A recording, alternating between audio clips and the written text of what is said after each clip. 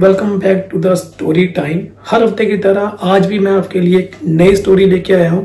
Aldous ये story मैंने जो है वो इंटरनेट पर पढ़ी है होपफुली आप में से किसी एक दो ने पढ़ी होगी, सुनी होगी। तो चूँकि मुझे ये स्टोरी काफ़ी इंटरेस्टिंग लगी तो मुझे लगा कि क्यों ना ये स्टोरी आप लोगों से शेयर की जाए, साझा की जाए। अब इस स्टोरी को शेयर करने का क्या इरादा है? बिकॉज़ इसका जो मॉरल लेसन एंड में निकल कर आता है, वो काफ़ी ज़्यादा यूनिक है और इम्पोर्टेंस रखता है। तो चलिए शुरू करते हैं। ये स्टोरी है चार दोस्तों की, जो कि इकट्ठे कॉलेज में पढ़ते हैं और इवन हॉस्टल में भी इकट्ठे ही रहते हैं। जैसे आम स्टूडेंट लाइफ में क्या होता है कि तीन चार जो दोस्त होते हैं, वो घनिष्ठ मित्र होते हैं। लड़कियों के केस में उनकी अच्छी सहेलियाँ होती हैं, जो आपस में शेयर करती हैं हर बात को, चाहे वो दुख का पल हो, चाहे वो खुशी का पल हो, वो हर पल को आपस में डिस्कस करके उसे सॉर्ट आउट करते हैं। इसी तरीके से ये चारों दोस्त भी जो है आपस में शेयरिंग करते हैं, हँसी मज़ाक भी करते रहते हैं और इसी शेयरिंग को करते हुए वो समय बिताते जाते हैं। जब उनका कॉलेज का टाइम खत्म होता है और इवन आप कह सकते हो कि फाइनल एग्ज़ाम दिए तो इन दोस्तों ने आपस में सोचा है कि भाई कॉलेज के बाद हम लोग क्या है कि एक दूसरे से अलग हो जाएँगे। तो क्यों ना ये डिसाइड करके रखें कि कॉलेज के बाद दस साल का टाइम देते हैं तो दस साल बाद हम इकट्ठे किसी एक जगह पर मिलेंगे और फिर ये देखेंगे कि हमने ज़िंदगी में क्या अचीव किया है। लेकिन हाँ दस साल के बाद ये गारंटीड है कि हम यहाँ पर पक्का मिलेंगे। अब प्रॉब्लम ये थी कि दस साल के बाद मिलेंगे तो सही, लेकिन कहाँ पर मिलेंगे?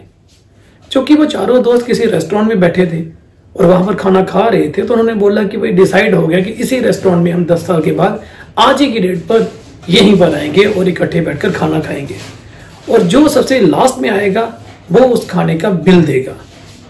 सो so, ऑब्वियसली बात है कि वहाँ पर जो चारों दोस्त थे वो हंसना शुरू हो गए कि भाई देखो जो लास्ट में आएगा वो तो फंस गया। एनी हो इनकी जो बात थी वो साथ में खड़ा वेटर सुन रहा था क्योंकि वो बिल्डिंग के लिए आया हुआ था। तो वेटर कहता है कि भाई मुझे आपकी बात जो है वो बड़ी अच्छी लगी। तो मैं भी चाहूँगा कि अगर दस साल के बाद मैं इसी रेस्टोरेंट में हुआ तो मैं आप लोगों से मिलना चाहूँगा और ये पता करूँगा कि आप दस साल के बाद अपनी लाइफ में क्या अचीव किया हुआ है। तो इसी खुशी में वो चारों दोस्त धीरे धीरे समय के अनुसार एक दूसरे से दूर हो जाते हैं। अब दिन बीतता है, समय बीतता जाता है, साल बीत गए तो एक साल, दो साल and so many ten years हो जाते हैं। दस साल के बाद जब वो दिन आने लगता है तो दो तीन दिन पहले ये दोस्त जो है, वो आपस में एक दूसरे को कम्युनिकेट करना शुरू कर देते हैं। एक दोस्त दूसरे को फ़ोन करता है और बोलता है कि भाई, हमने वहाँ जाना है। और तीसरा भी और चौथा भी। चारों दोस्त जो है, वो अपनी टर्म एंड कंडीशन को रिवाइज करते हैं कि याद रखना, जो लास्ट में आएगा, वही बिल देगा। राइट तो जब वो उस होटल में आते हैं, उस रेस्टोरेंट में आते हैं तो पहला दोस्त सबसे पहले पहुँच जाता है। फिर दूसरा आता है, फिर तीसरा आता है। तीनों आपस में शेयरिंग कर रहे होते हैं और पूछ रहे होते हैं, कोई जो है वो इंडस्ट्री का मालिक है, कोई जो है इंजीनियर है, कोई डॉक्टर है तो तीनों आपस में बैठ के बड़ी गप्पे मार रहे थे। तब उनको एहसास हुआ, यार, चौथा दोस्त तो आ नहीं रहा। उसने चौथे दोस्त को फ़ोन किया कि, भाई, आ जा, काफ़ी टाइम हो गया, हम तुम्हारा वेट कर रहे हैं। तो उस दोस्त ने बोला, कहता कि, भाई, मैं थोड़ा सा लेट हो जाऊँगा, आप गप्पे शप्पे मारो, मैं पहुँच रहा हूँ। वो तीनों गप्पे शप्पे मार रहे होते हैं, अपना टाइम पास कर रहे होते हैं और सुनर लेटर उनको लगता है कि यार टाइम कुछ ज़्यादा हो गया, भूख लग रही है तो खाना खाते हैं। तो उन्होंने बोला, भाई, हम खाना ऑर्डर कर रहे हैं, कहाँ पहुँचा तू? तो चौथा दोस्त जो है, उस फ़ोन पे बात हो रही थी तो वो कह रहा था कि, भाई, मैं आ रहा हूँ जस्ट तुम लोग खाना खाना शुरू करो, कोई बात नहीं, मैं पहुँच जाऊँगा। अब तो उनका खाना भी खत्म हो गया और फिर से वो फ़ोन करते हैं, कहते यार, खाना खत्म हो गया हम अभी तक वेट कर रहे हैं। तो वो कहता कि, कोई बात नहीं, मैं आ रहा हूँ, तुम लोग आराम से बैठो तब तक आपस में गपशप लगाओ। मैं जस्ट थोड़ी देर में पहुँचने लगा इसी तरीके से वो अपना टाइम स्पेंड करते हैं और चार, पाँच, छह बज जाते हैं, लेकिन उनका चौथा दोस्त जो वो पहुँच नहीं पाता।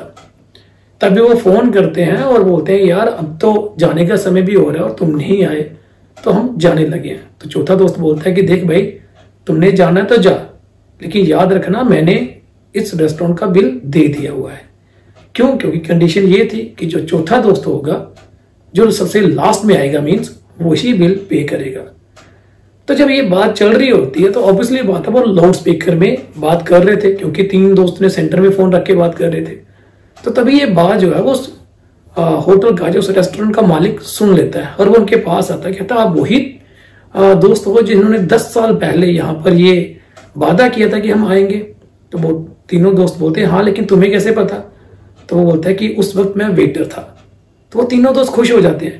कहते यार तुमने तो बड़ी ज़्यादा प्रोग्रेस कर दी। कहते हाँ मैंने काफ़ी हार्ड वर्क किया और चूँकि मैनेजर भी अच्छे थे उन्होंने मुझे मौका दिया मेरे पास क्वालिफिकेशन थी आ, मेरा स्टेटस डेजिग्नेशन बदलता गया और आज के टाइम पे मैं इस होटल का मैनेजर हूँ और मुझे बेहद खुशी हुई कि आप इसी होटल में मेरे सामने फिर से रूबरू यहाँ पर बैठे हुए हैं।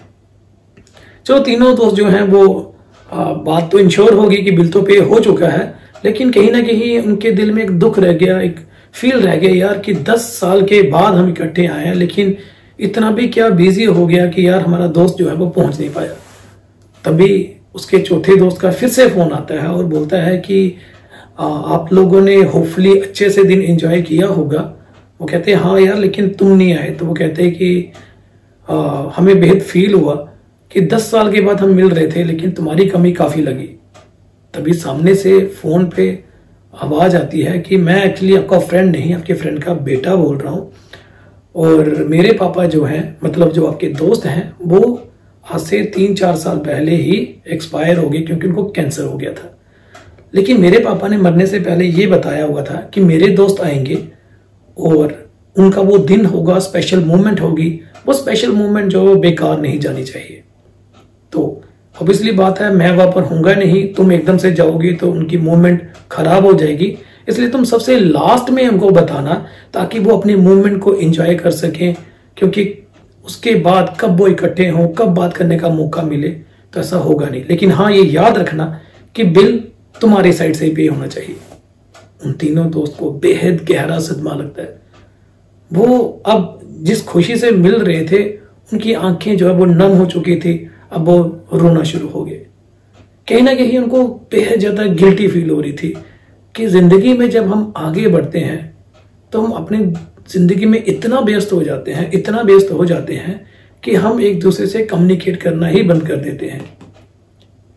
तो इस स्टोरी से हमें यह सीखने को मिलता है कि ज़िंदगी में आप अपने लिए जब स्ट्रगल कर रहे हैं, या फिर कोई एकम्प्लिशमेंट ले लेते हैं, कोई सक्सेस अचीव कर लेते हैं तो याद रखिए वंस इन ए मंथ और वंस इन ए वीक ये पक्का इंश्योर कीजिए कि आप अपने नियर एंड डियर वन के साथ इंटरेक्शन में रखिए उनका हालचाल पता करते रहे बिकॉज़ ऐसा ना हो जब आप बुलंदियों की ऊंचाइयों पर बैठे हो तो आपके साथ कोई ना मिले।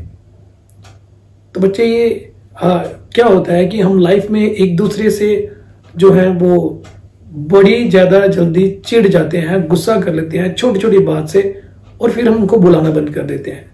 और शायद वो छोटी सी बात दिल पे इतना दबा लेते हैं कि उनसे सालों बात ना करो। शायद उस बात का किसी की लाइफ से जो आप कंपेयर करके देखो तो आपको लगेगा कि हमारी बात एक बेहद फीकी थी, एक छोटी थी, लेकिन उसकी ज़िंदगी काफ़ी ज़्यादा मैटर करती है। इसलिए हमेशा एक दूसरे के साथ टच में रहिए स्पेसिफिकली टू द पर्सन जो आपकी लाइफ में काफ़ी ज़्यादा अहमियत रखते हैं। बिकॉज़ अच्छे लोग हमें हमेशा नहीं मिलते। तो होपफुली आप इस स्टोरी के बाद एक मैसेज अपने दिमाग में पक्का लेके चलिएगा कि भाई, हम स्ट्रगल भी करेंगे, हम सक्सेस भी अचीव करेंगे, हम ज़िंदगी में कहीं भी पहुँच जाए। लेकिन हाँ हमारे जो नियर एंड डियर वन हैं, हमारे जो अच्छे दोस्त हैं हमारे जो कंसर्न पर्सन जो हमारे लिए हमेशा वेल विशर रहते हैं, हम उनके टच में हमेशा रहेंगे, उनकी प्रेयर में हमेशा रहेंगे और इवन उनके लिए भी अच्छी प्रेयर करेंगे। धन्यवाद दोस्तों।